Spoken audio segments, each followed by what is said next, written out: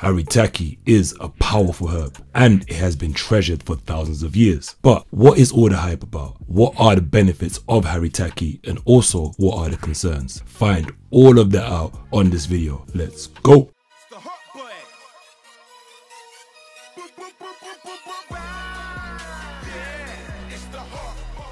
Haritaki is a tree native to southern Asia and India. It's actually found throughout India in altitudes up to 1500 meters. Haritaki itself is one of three herbs that make up the herbal remedy in traditional Ayurvedic medicine called Triphala. And fun fact, Historically, it's said that Haritaki was referred to as the king of herbs or the king of medicinal herbs. And this may be for good reasons as we'll find out on this video. Actually, in Ayurveda, it's always one of the first herbal remedies listed for its potential extraordinary therapeutic benefits. In fact, Haritaki has been so revered through traditional history that details of it are written in quite a bit of historic texts. It's also mentioned in Tibetan literature. Another fun fact is Haritaki is the fruit that Buddha is seen holding a lot in pictures and this says a lot about how this herb was viewed throughout history. So I guess this video will be fun to dive into Haritaki and understand it a bit more. So firstly, I've had a lot of requests and comments for this video. So a big thank you to every single person who requested it. I've listed you all out on screen. As you know, I always go through each comment and I try to get those videos done as soon as possible.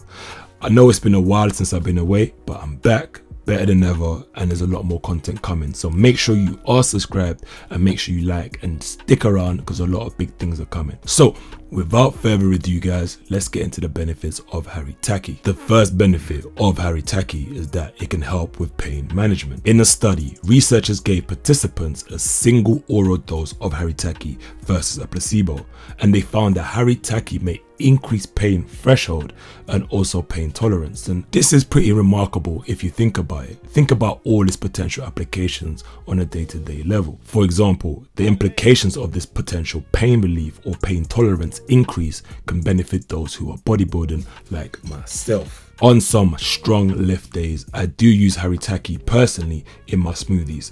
I've spoken about this somewhat in previous videos for the exact same reason. Being able to have some pain management or changes in pain tolerance will allow for some potential benefits whilst you work out. This can potentially allow for people to push past their pain limits. You know when it's one rep more, two rep more, allowing you to get that extra reps in, potentially helping you build more muscle over time. And this is one of the reasons I personally personally use haritaki. Also, haritaki might help with nitric oxide production and this nitric oxide production helps with widening the blood vessels during exercise.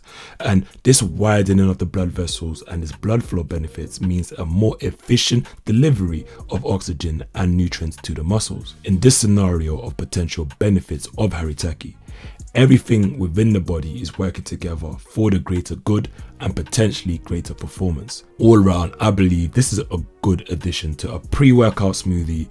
And although research is still in its early stages, there is some research that suggests other potential benefits that help with lifting or bodybuilding, such as this help potentially increasing focus, drive and stamina, which also aids towards potential bodybuilding benefits. And that brings me to my second benefit haritaki may have some benefits on brain health. There is some early evidence suggesting that haritaki can potentially be beneficial for cognitive function, and this includes memory, focus, and generally relieving stress and tension in the mind. The reason for this could be due to its adaptogen benefits or its adaptogen properties, which help the body adapt to stress. But also, it's said that extracts of haritaki, as we spoke about before, can help produce or increase nitric oxide production.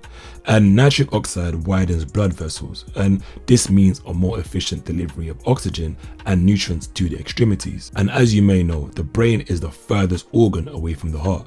It uses about 20% of the body's oxygen about 20% of the body's energy. So to ensure it's working optimally, blood flow is important and this allows neurons in the brain to function properly and function more effectively. So this herb might help with nitric oxide, which might help with blood flow and that can be extrapolated to potential brain health or brain boosting capabilities. And additionally, it's said to contain powerful antioxidants and flavonoids, which are said to be beneficial or have beneficial effects on the brain. So there may be something good here, but bear in mind, This is a herb with just a few studies. I've spoken about a lot of herbs on this channel which have a lot of research behind them, but this isn't one of those herbs. It's still relatively early, so take some of this with a pinch of salt. A lot of it's based on anecdotal evidence and some of it is based on personal evidence or evidence that's been extrapolated from animals. The third benefit of haritaki is its potential use for sexual health. I keep going on about blood flow, but blood flow is key. It's important for exercise, brain health, and even sexual health. Anything that helps push blood to the extremities will also help push blood to the extremities, and that goes for both men and women. Interestingly enough, haritaki has been known historically as an aphrodisiac in India. It's said to help boost libido, vitality, and it's also good for sexual health. And another side benefit is its potential stress and anxiety benefits. It's said that this herb can help relax the nervous system and help bring back homeostasis. And apart from helping us feel good, which is what that return to homeostasis can bring, it also helps with sexual function. And as you know, and this can be applied in any aspects of your life, if you feel good and you look good, you will also do good. So do good, do better, however you want to put it. But everything helps everything. It's all interlinked and that's why they call it holistic medicine. As a sidebar, if you're the type that looks into energies and we're talking about energies in the Ayurvedic way of thinking, in that case then this herb can help balance energies, especially prana, which is said to help keep the brain alive and fresh. So that's something to bear in mind. As you know, this is an Ayurvedic herb, so there's a lot deep that's rooted in culture and aligned to this herb. The fourth benefit of haritaki is its digestion benefits. Haritaki has been said to be traditionally beneficial for digestion, especially when it comes to flow, bowel movements, intestinal health, and the functions of the colon. Historically, haritaki has been used as a purgative, and this is useful for flatulence, indigestion, and studies back this up. One human clinical trial investigated the use of Triphala in patients with gastrointestinal disorders, and they reported treatment reduced constipation, mucus, abdominal pain, and flatulence whilst improving the frequency, yield, and consistency of stool. Other benefits of haritaki noted in some studies include potential skin benefits. In fact, there is some work being done right now looking into the potential anti-aging effects of Triphala on human skin. And some even use Haritaki powder in face mask. Some use it in toothpaste and that's for its antimicrobial but also its antibacterial benefits. And it's said to have a good amount of antioxidants in them too. It's also said to be nutritious and this is important because nutrition is the foundation of health and well-being. It's said to be quite dense in vitamin C, magnesium, iron, copper, all beneficial for the body. But what are some of the key concerns you need to be aware of if you're going to use this herb? Well, firstly, as I spoke about, there isn't much scientific research being done or have been done on haritaki. There is some studies on Triphala, but most of the information on haritaki is in historic texts, or is anecdotal, which is based on opinions or personal use, or is extrapolated from animal studies, or the information is inferred. I think history provides a good foundation for research, but modern science is just about catching up to some of the things people have known for thousands of years. And that's why channels like this are important to kind of help pave the way and combine both worlds for you guys. But when there isn't much scientific evidence or scientific research done, there isn't much known about long-term use or an idea of dosing.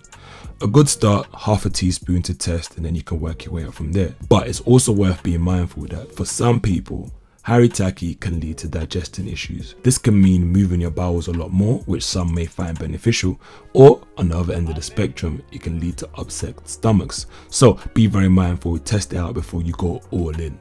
And standard stuff, if you've got an issue, it's always best to consult an expert before trying any new supplement.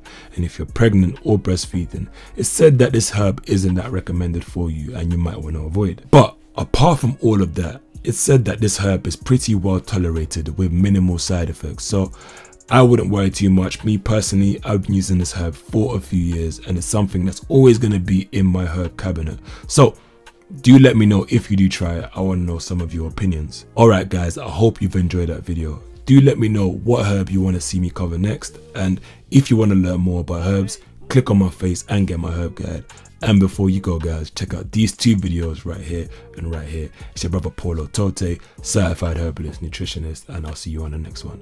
I'm only wearing this because my hair is a mess, so forgive me. I'll see you guys soon. Peace.